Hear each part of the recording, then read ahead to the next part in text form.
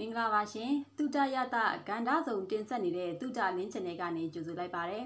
အခုတစ်ခါတင်ဆက်သွားမှာကတော့တသားမွေးပြီးတသွေးလှနေအောင်အသက်40ကျော်တဲ့အထိနုပြိုတွယ်လျနေအောင်မင်းသားဝီလီယံကတော့ကိတ်မီဒလ်တန်ဘလို့တွေအလှပထိန်းသိမ်းတယ်ဆိုတဲ့အကြောင်းပါ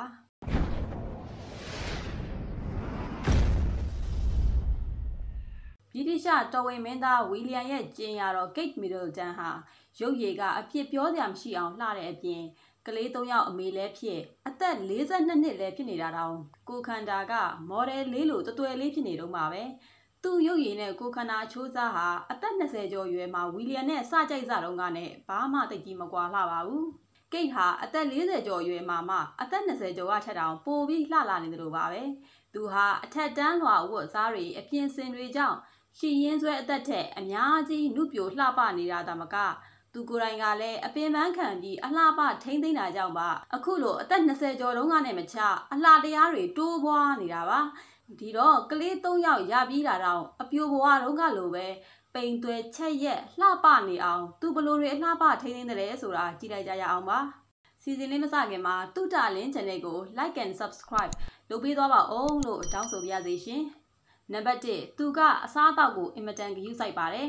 ဟုတ်ပါတယ်။ကျမရင်းနဲ့ညီညွတ်ပြီးတန်ရှင်းလက်ဆက်တဲ့အစားအစာတွေကိုပဲဦးစားပေးစားသုံးလို့ကိတ်ရဲ့အသားရည်အခုလိုစိုးပြေဝင်းလက်လှပတင်းရင်းနေတာပါ။လူတယောက်ရဲ့အလှပမှာအသားရည်ကအဓိကကြပါတယ်။ကိတ်ကမနက်စာထဲမှာအစိမ်းရောင်ဖြိုရည်ပုံမှန်ပါအောင်လုပ်လေ့ရှိပါတဲ့ပီရူလိုင်းနာကိုက်လန်လက်ဖက်ရွက်ဘလူးဘယ်ရီစတာတွေကိုရောဆက်ပြီးဖြော်ထားတဲ့အစိမ်းရောင်ဖြိုရည်ကိုသူကမနက်တိုင်းပုံမှန်တောက်ပါတဲ့ဒါကြောင့်သူ့အသားရည်ဒီလိုလှနေတာပေါ့ နေ့လယ်စာစားရင်တော့သူကအသားလျှော့စားလေးရှိပါတယ်။သူကအဆက်လဲကြိုက်ပါတယ်။သူခင်ပိုးမင်းသားဝီလီယံကတော့သူ့လိုအဆက်မစားနိုင်ပါဘူး။ပြီးတော့သူတို့ဇနီးမောင်နှံကဆူရှီထမင်းလိတ်လဲကြိုက်ပါတယ်။ဒါအပြင်ကိတ်ကအသီးရွက်ကိုအစိမ်းစားရတာကြိုက်တယ်လို့သတင်းတွေကဆိုပါတယ်။ဒါကြောင့်သူကတခွားသီးတုတ်သိပ်ကြိုက်တာပေါ့။သူတို့ကတော်ဝင်မိသားစုဝင်တွေတန်းကြွယ်တထေးတွေဆိုတော့ဟင်းချက်ကောင်းပေဆိုတဲ့နမဲကြီးစဖိုးမှုကိုစံအိမ်ကြီးမှာခံထားပါတယ်။ ကိတ်တို့မိသားစုကအိမ်ချက်လက်ရာတွေကိုပဲအဓိကထားစားလေးရှိပါတယ်။စဖို့မှုရှိပေမဲ့ကိတ်ကခင်ဖို့အတွက်ကိုယ်တိုင်ဝင်ချက်လေးရှိပါတယ်။အထူးသဖြင့်ညစာပေါ့ဝီလီယံကကြက်ကင်ကြိုက်တော့ကိတ်ကမိဖို့ကြောင့်လည်းကိုယ်တိုင်ဝင်ပြီးကြက်ကင်လုပ်ပေးတတ်ပါတဲ့။သူချက်ပြုတ်နေတဲ့အခါပြည်တိကျတော်ဝင်မင်းသားမင်းသမီးလေးတွေဖြစ်တဲ့သူသားသားမိမိလေးတွေကလည်းဝင်ကူပေးလေးရှိပါတယ်။ဒါကြောင့်ကိတ်စားတဲ့ညစာထဲမှာကြက်ကင်ရဲ့စွပ်ပြုတ်ဟင်းရည်တွေရဲ့ တခြားဟင်းပွဲတွေရဲ့ပါလေးရှိပါတယ်။မုံပဲတရေစာအနေနဲ့ဆိုရင်တော့ကိတ်ကအသီးနှံတွေကိုအဓိကထားစားပါတယ်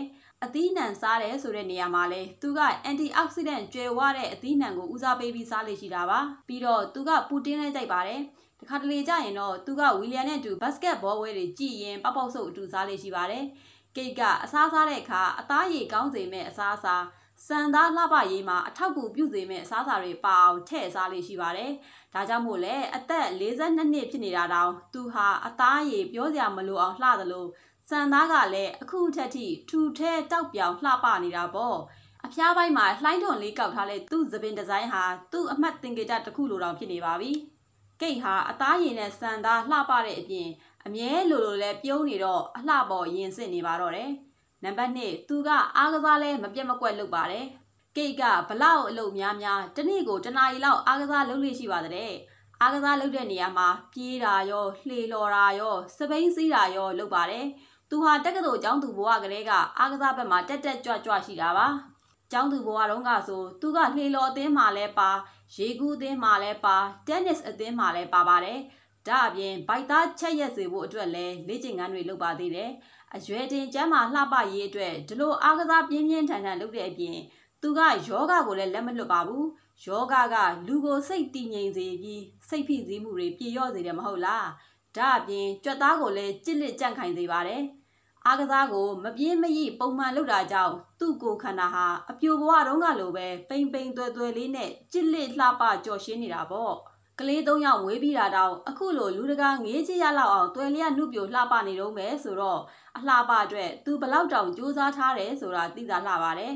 ပြီးတော့သူကမိသားစုလိုက်ကြီးအပြင်ထွက်ပြီးသားသမီးလေးတွေနဲ့ပျော်ပျော်ရွှင်ရွှင်စော်ကစားရတာကိုလည်းကြိုက်ပါတယ်သားသမီးတွေနဲ့ဒီလိုထွက်ရတာဆိုတော့ပျော်စရာကောင်းပြီးစိတ်လက်ပေါ့ပါလန်းဆန်းလာတာပေါ့ကိုခန္ဓာကျမ်းမာလှပရေးအတွက်သာမကစိတ်ချမ်းသာရေးအတွက်လည်းထည့်စင်းစားလို့ကိတ်တယောက်အသက်40ကျော်တဲ့အထိလှသွေးကြွယ်နေတာပါ ကဲဒါကတော့တနေ့မှာမင်းကြော်ဖြစ်လာမဲ့မိမချော Kate Middleton အသက်40ကျော်မှာတွယ်လျကြော်ရှင်လှပနေအောင်အလှပဘလို့ထိမ့်သိမ့်တလဲဆိုတဲ့အကြောင်းပါပဲ